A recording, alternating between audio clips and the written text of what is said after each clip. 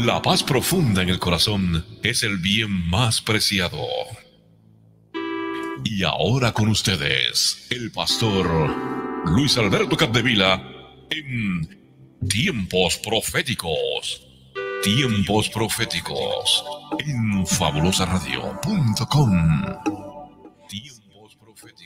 Tiempo profético con el pastor Luis Alberto Capdevila, quien ya tenemos por acá en la tarde de hoy, como todos los sábados pastorales. Adelante, primo, buenas tardes y bendiciones. Jorge, bendiciones a ti, a Lucy, a los radio uh, escuchantes en este día tan bello que el Señor ha hecho. Queremos seguir con el tema sobre Israel y qué está pasando en Israel. Y quiero, dar un repaso bien rápido de lo que hablamos de la semana pasada, para que puedan entender y no ser confundido por la falsa noticia o la teología de los que eh, son ateos y, y, miden lo que está pasando por otros ojos.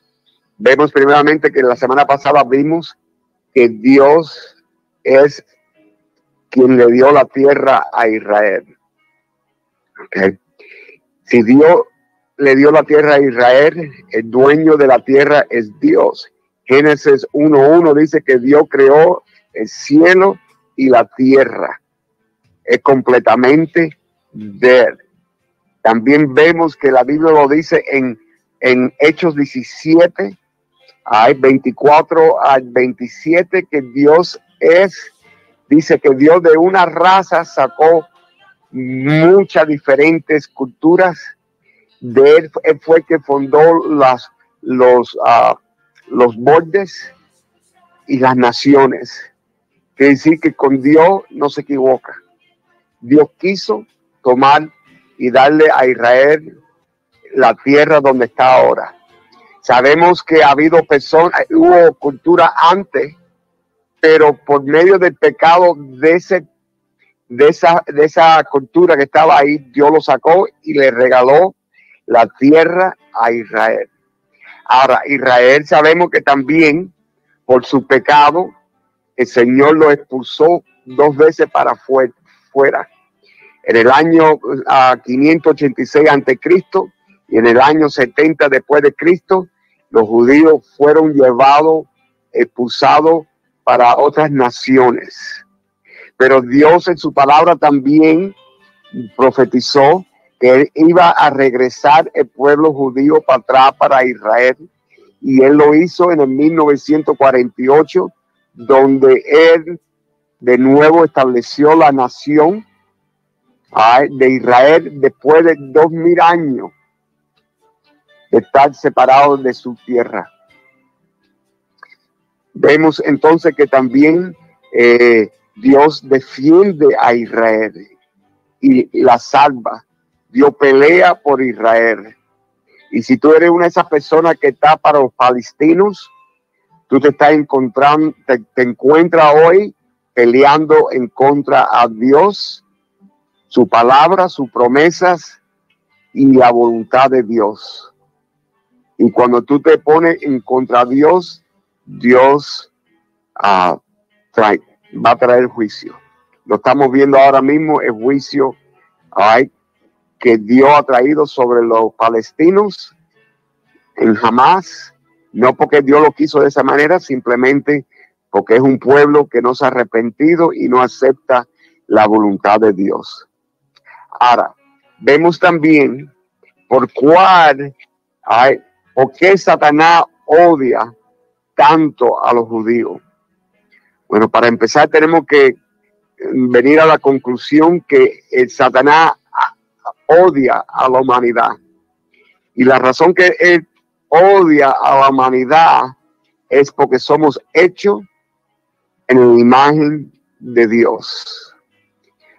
La, la, creación más grande de Papa, de Dios fue la, la creación del hombre. Y como Dios le dio al hombre dominio sobre los ángeles, Satanás eh, en, rebelión contra Dios, empezó esta guerra que hemos visto ya por varios, ah, ah, varios uh, millenniums, ¿no? La tierra es de Dios. Y entonces vemos que Satanás odia a Israel, no solamente porque somos humanos o son humanos, pero número dos, porque Dios le dio la tierra. La tierra es de Israel, porque Dios la prometió. Y aunque los judíos pecaron y Dios los sacó fuera de la tierra por muchísimos años, dos mil años, Dios también tenía promesas de regresarlo de todas las naciones del mundo, ¿no? Para que regresaran para atrás a Israel. Vemos que los judíos es el pueblo de Dios, porque Dios escogió. Dios no lo debe a la humanidad nada. Dios no le debe a la humanidad nada. Ay, y nosotros no lo merecemos nada. Todo merecemos, todo merecido que tenemos es por lo que hizo Cristo Jesús por nosotros. Entonces vemos también que el diablo odia a, Israel porque él sabemos que en Jerusalén va a ser la capital del mundo. Ay, Jesús va a reinar del mundo de Jerusalén. Hay, hay muchísimas escrituras y no tuviera tiempo para mencionar todas las escrituras que habla sobre esto. Por eso el anticristo, dice la Biblia, el anticristo se va a sentar en un templo edificado para Dios, para empezar los sacrificios de nuevo, y él se va a sentar en ese templo, se va a declarar Dios, y a los tres años y medio de estar declarado como el Cristo, él va a, sus colores reales se van a ser revelados, donde el mundo va a ver que eres el anticristo. Y empieza la persecución del pueblo de Dios, no solamente contra Israel, porque la guerra ahora es contra Israel, pero cuando el anticristo es revelado, la guerra de él va a ser contra los judíos, los cristianos y natural la humanidad. Lo que nosotros estamos viendo ahora es un es, es Dios dándole a nosotros un vistazo ay, de cómo el diablo opera a través de los corazones de los hombres. Porque lo que, lo que hemos visto que jamás hizo Israel, eso es satánico. Ay, los crímenes que cometieron en la humanidad de los judíos. Es, no hay palabra para poder describir eso. Pero nosotros tomamos la ventaja como cristianos que estamos viendo la posibilidad de dos cosas. Número uno, si la iglesia es asignada ahí por la gran tribulación, que yo creo que hay una posibilidad, que porque por nosotros por muchos años hemos sido educados que nosotros lo vamos en un rapto. Pero eso es una teoría. La teoría es que va a haber un rapto. Eh, la teoría, la doctrina es que va a haber un rapto. La teoría es cuándo el rapto va a suceder. Vamos a, imaginar lo que, que la iglesia entra por la gran tribulación.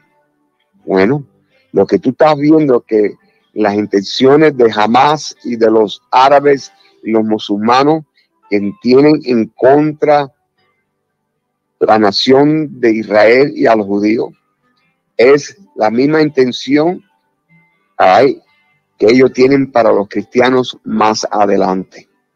Quiere decir que si la iglesia pasa por la gran tribulación y el rapto es al final de la, de la tribulación, lo tenemos que preparar ahora en mente, en alma, ¿ok? Para sufrir.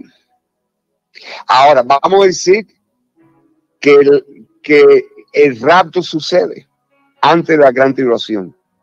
Bueno, todavía debe estar preocupado porque cuántos hijos, nietos, amigos, amigas, compañeros que no conocen a Jesús.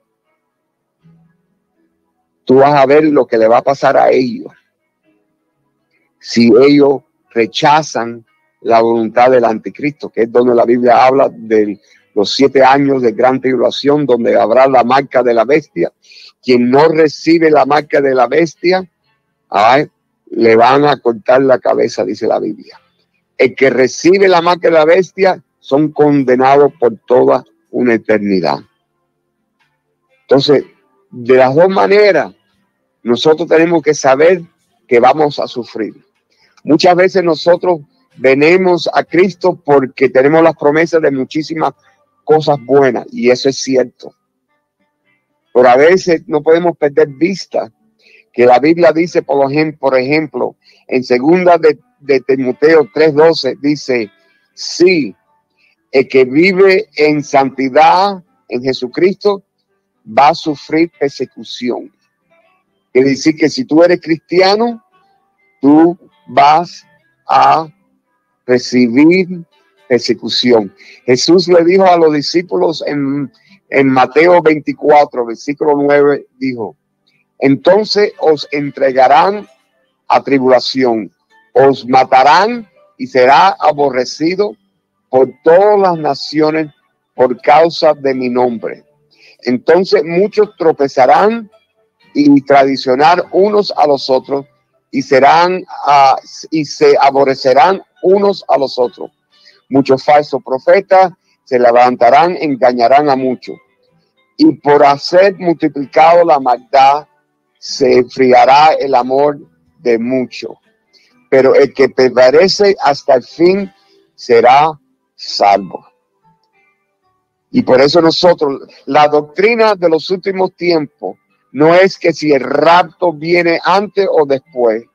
La doctrina de los últimos tiempos es estar preparado.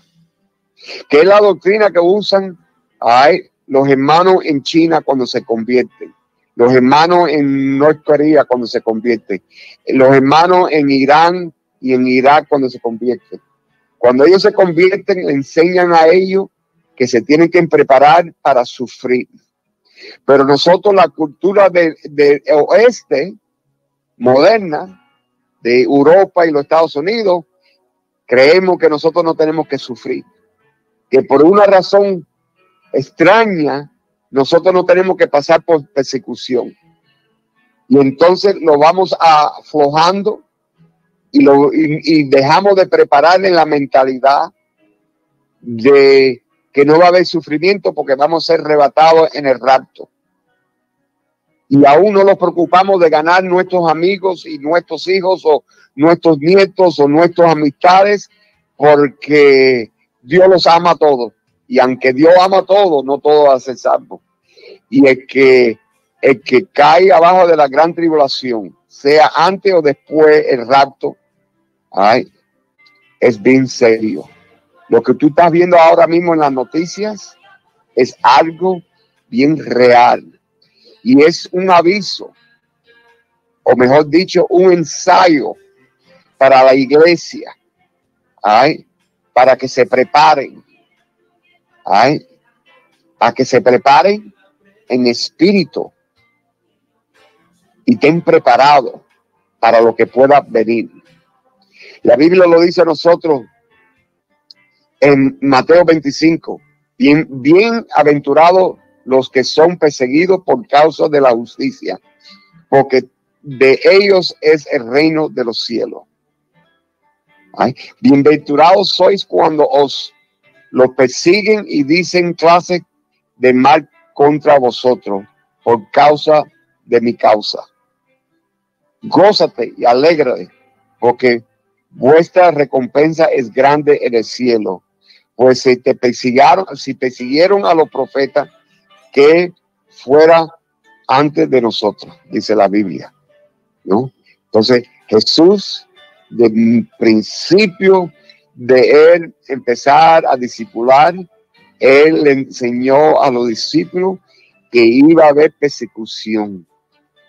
Ay, Jesús le dijo en, en otro lado, dijo, de cierto os digo que no hay nadie, esto es en Marco capítulo 10, no hay nadie, versículo 29, que no hay nadie que haya dejado causa, en manos, hermanas, madre o padre, hijos o campos por causa de mi evangelio, que no recibirá cien veces más ahora en este tiempo, casas, hermanos, hermanas, madre, hijos y campos.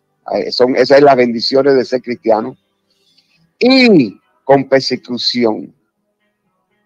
Y en la edad venedida, la vida eterna. Quiere decir que la persecución es presente a todo tiempo en la vida de quien verdaderamente es cristiano. Porque la Biblia lo dice a nosotros, la Biblia lo dice a nosotros en, Primera de Juan, que el mundo lo odia a nosotros. El mundo lo odia a nosotros. Es decir, que si verdaderamente tú eres cristiano, las personas del mundo, ay, nosotros no le caemos bien. Dice así, no os maraville, hermanos, si el mundo os aborreces. Primera de Juan 3:13. No se maraville. Cuando tú caminas en santidad, en justicia, en la perfecta voluntad de Dios, nosotros somos diferentes que ellos. Por eso los homosexuales no, nosotros no le caemos bien. Por esas personas que están para el aborto, nosotros no le caemos bien. Por eso nosotros que tenemos una política muy diferente a la de ellos, no le caemos bien. Y como estamos viviendo en tiempos donde los corazones de los hombres se están poniendo bien frío, la maldad, la furia, el, la, la venganza, es aumentado. Lo que nosotros vimos que hicieron jamás allá en Israel, ese crimen que cometieron, es porque ellos son enseñados desde niños a odiar a judíos. ¿no? Son odiados. Entonces dice la Biblia, dice así. Dice, este es el Dios que hizo el mundo y todas las cosas que hay en él y como Señor del cielo y de la tierra, y Él habita en los templos, no habita en los templos hechos de manos, ni servido por manos humanas, como se necesita algo, porque es que eh, porque Él es quien da a toda la vida aliento y a todas las cosas. Y de uno ha hecho todo, raza de los hombres, para que habiten en, sobre toda la faz de la tierra y él ha determinado lo antemano el orden de los tiempos y los límites de la habitación. Quiere decir que Dios está en control y Dios no falla y su palabra ya está escrita. Las promesas ya, las promesas ya son ciertas. ¿ay? Ya están escritas. Lo que va a pasar ya está escrito. Ahora depende en ti cómo tú te vas a preparar y condicionar tu corazón. Porque una de las características de estos últimos tiempos es el engaño, donde la Biblia dice que muchos serán engañados. Pero si tú, tú verdaderamente amas a Dios y lo sirves, vas a ser odiado por el mundo. Vas a ser perseguido por el mundo. Y aún en el debido tiempo van a venir, igual que están viniendo detrás de los, de los, ah, de los judíos, van a venir detrás de los cristianos. Aunque ahora mismo en muchas partes del mundo los cristianos están siendo perseguidos igual. Pero en, Europa y en, en, las Américas no hemos visto eso al mismo nivel, pero viene. Acuérdate que el borde del sur ha sido abierto ya por tres años han brincado inmigrantes de todos tipos, entre ellos muchas personas buenas buscando algo mejor para sus hijos, pero entre ellos han venido gangas, han venido terroristas de otros países y en un debido tiempo van a querer atacar aquí a los americanos y especialmente a los cristianos. Sabes que te cuento algo, hace pocos minutos acabo de ver en las noticias, ¿no? Cientos de cientos de cientos de miles de palestinos y simpatizantes con los palestinos, con estos grupos terroristas, porque las personas que están ahí hablando, inclusive sabemos de dónde vienen. Eh, diciéndole a Biden de que si no los apoyan, Israel para completamente los bombardeos y el ataque por tierra, que ya Israel está dentro de Gaza. Estaba viendo hace pocos minutos que tienen rodeado a Hamas y ya el territorio lo están aislando. El territorio que está quedando es el territorio de Israel y lo que está quedando para los terroristas de Hamas es un pedacito de tierra donde los tienen rodeados. Ok, eso lo está haciendo. Pero hay cientos de miles, le dicen a Biden, si no nos apoya, Israel separa esto y separa la guerra y se van de allí, pues no vamos a votar por usted, chantajeando y todo a este viejito. Bueno, esta semana salió un artículo donde los líderes de Hamas declararon que los túneles debajo de la tierra fueron hechos para los terroristas, no para el pueblo. Y el pueblo está engañado por, por la enseñanza falsa que, que jamás le han dado. Pero un pueblo que está abajo de, el pueblo que está abajo del engaño, que Israel lo odia a ellos, cuando Israel ha sido el pueblo que le ha dado más amor y ayuda a ellos. Pero ellos como el pueblo lo, que están, mm, lo que son los presidentes y, los jefes de las organizaciones reciben dinero de afuera y se han hecho ricos y el pueblo sufre. Y mira si la maldad de los Hamas es grande, Jorge, que dónde está las operaciones de los terroristas en la Gaza. Está directamente debajo del hospital más grande en Gaza o que saben que los israelíes no van a atacar al hospital, ellos viven y se esconden ahí. Pero como ahora están, están apagando todos los túneles y lo están destruyendo, ahora no hay, no hay manera de ellos escaparse. Y como está viniendo el ejército, se está acercando el ejército, no hay manera de ellos irse. en, este, en esta semana se tardaron en ir una pila de terroristas en ambulancias. Y Israel atacó las ambulancias y la gente, el mundo creyó que Israel estaba atacando la ambulancia. No, lo que estaba atacando una pila de terroristas que estaban dentro de la, de, la ambulancia. Y esto no lo para nadie, esto es una guerra de Dios. Jehová está peleando con estos valientes soldados israelitas, hombres y mujeres. Esto no lo para nadie. Netanyahu ha dicho que aunque protesten, esto no lo para, que lo que hicieron, el crimen, el asesinato, la carnicería que cometieron contra el pueblo de Israel, personas inocentes, no lo para nadie esta venganza. Y no es Israel, es la mano de Dios la que se está vengando. Y sabes, eh, en los Estados Unidos estaba viendo apoya a Qatar y, Jordania. Qatar es el centro principal de Hamas, es el bastión principal de Hamas, para que tú veas.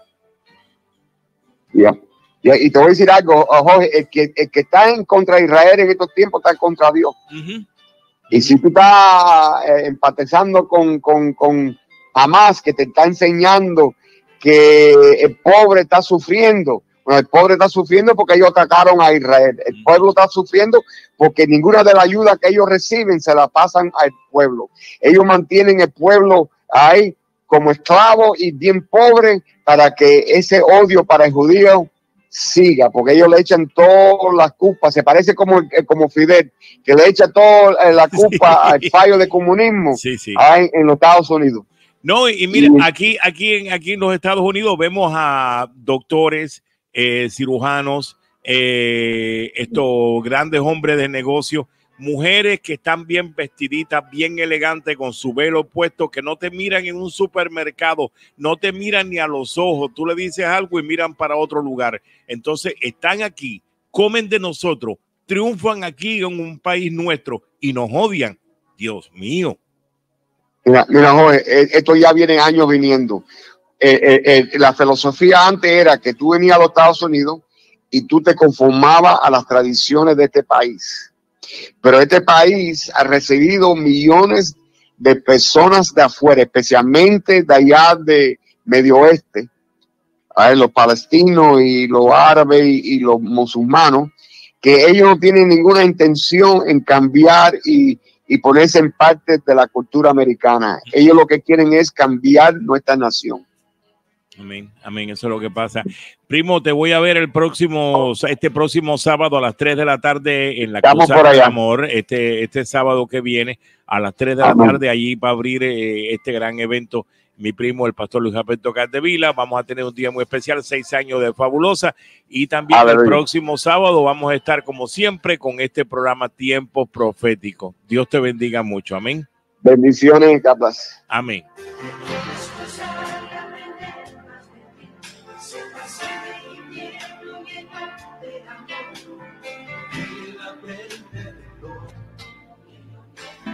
La paz profunda en el corazón es el bien más preciado. Te invitamos a escuchar todos los sábados en punto de las 2 de la tarde al pastor Luis Alberto Capdevila en Tiempos Proféticos. Tiempos Proféticos. Sábados 2 de la tarde en Fabulosa Radio